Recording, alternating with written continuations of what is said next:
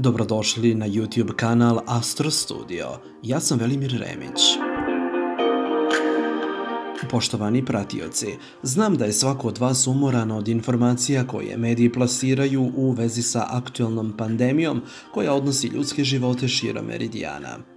Analiza koja sledi ima za cilj da vas duhovno probudi, informiše, osvesti i upozna sa skrivenim namerama zlikovaca koji iz senke upravljaju svetskim procesima.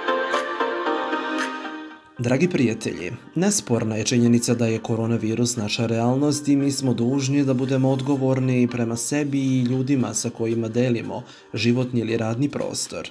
Moramo poštovati savete struke koja preporučuje izolaciju od svih i svega dok ne prođe kritičan period.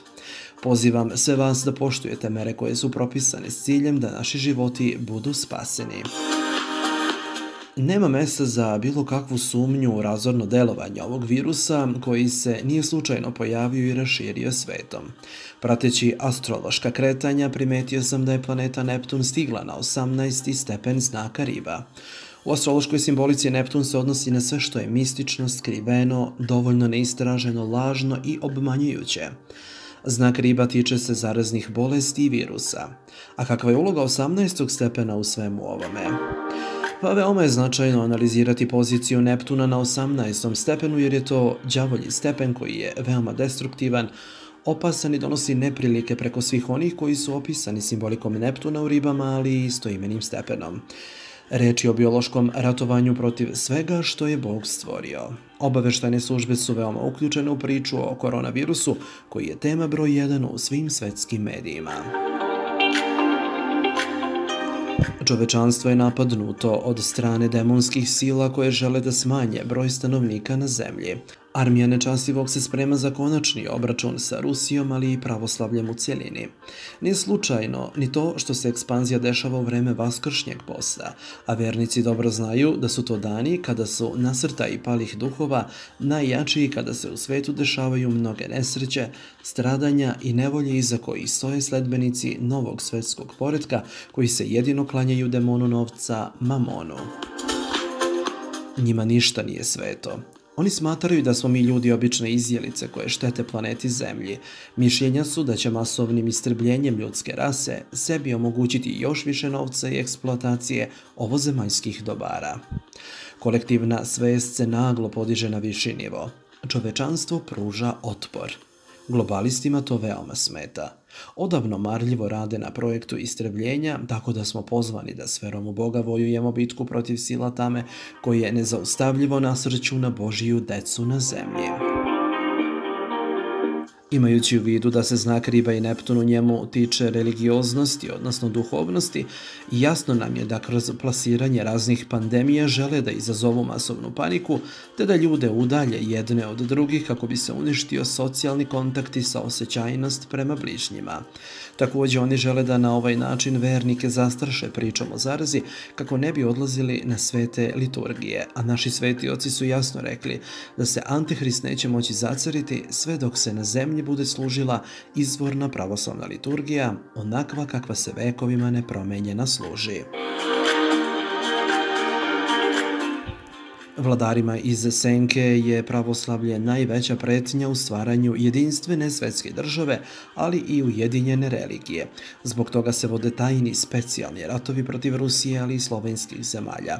Osim što mrze nas pravoslavne, oni ne podnose vernike bilo koje konfesije, tako da svoje prljave operacije sprovode na svim meridijanima. Elitisti se hrane ljudskom patnjom, nesrećama i bolestima sa kojima se obični smrtnici suočavaju. Sve što miriše na veru, ljubav i nadu, za njih je neprihvatljivo. Oni imaju oformljene timove u kojima se nalaze crnomagijaši, ritualisti, satanisti, parapsiholozi, koji im za novac pomažu da u delo sprovedu svoje demonske planove. Koliko će to da deluje na sve nas zavisi od stepena naše vere u Hrista koji ima moć i nad takvim zalutalim dušama kroz koje nepomjenik dejstvuje. Neptun tranzitira kroz prirodno 12. polje horoskopa, a ono nosi simboliku izolacije od spoljnog sveta, a pošto je reč o znaku riba, isplivaće na površinu tajna u vezi sa ovim događajem koji je uznemirio milijarde duša u svetu. Dragi prijatelji, bit će otkrivena pozadina svega što se dešava u vezi sa pandemijom koronavirusa. Satanistima je odzvonilo, pa se na sve načine užurbano trude da što više ljudi u nesreće, ali i porobe kroz proces čipovanja koji će predstaviti kao revolucionarno otkriće u borbi s virusom. Mi ne smemo prihvatiti žig zveri ni po koju cenu. Frka u vezi s pandemijom bit će na snazi tokom čitave 2020. godine, a moguće je da se prenese i na prvi kvartal 2021. Naravno da intenzitet neće biti isti do kraja 2020. ali ima naznaka da će se virus u pojedinim delovima sveta vratiti tokom jeseni kada će nekoliko planeta biti u fazi retrogradnog kretanja. Sve nade polažemo u Rusiju koja je u genetskom horoskopu povezana sa znakom riba. Moguće je da će neki prozorljivi, čuveni ruski duhovnik projaviti istinu u čovečanstvu povodom panike koja je zavladala na sve četiri strane sveta, a ruski naučnici pronaći će lek koji će moći uspešno da pobedi virus korona. Poštovani slušalci, hvala vam za pažnju. Kliknite na subscribe, Ostavite komentar i podelite ovu priču na vaše profile na društvenim mrežama. Ja sam Velimir Remić. Do narednog slušanja. Srdačan pozdrav.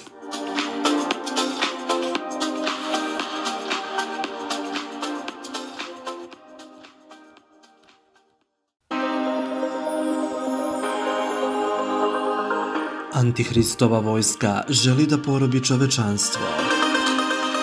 Ispod nebeske kape vodi se rat za duše, progon hrišćana posljednjih vremena. U prodaji je nova knjiga Velimira Remića u kojoj otkriva detalje iz Antihristove agende, pomoću koje bogoprotivnici žele da porobe čovečanstvo, unište pravoslavlje, ukinu papirni novac, izaberu jednog predsjednika sveta i otpočnu masovno čipovanje ljudi. U knjizi su objavljene i proročanstva svetih otaca o posljednjim vremenima i antihristu, čije zacarenje se ubrzano priprema. Saznajte i zašto će Srbija biti ostrvo spasa u nadolazećim teškim vremenima za svet. Knjigu Rad za duše poručite putem Vibera plus 381 63 77 491 33. Cena 1200 dinara plus PTT dostava. Isporuka u sve delove sveta.